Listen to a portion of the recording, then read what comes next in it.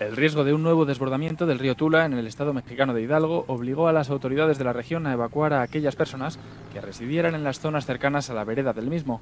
Cerca de 39.000 personas se han visto afectadas por los desbordamientos. El desfogue de varias presas cercanas y las posibles precipitaciones podrían hacer que el río Tula volviese a desbordarse. La decisión del gobernador central, Omar Fayad, de pedir la evacuación de la población llegaba este miércoles un día después de que 14 personas murieran en la ciudad de Tula al inundarse un hospital del Instituto Mexicano del Seguro Social por fuertes lluvias que provocaron el desbordamiento del río.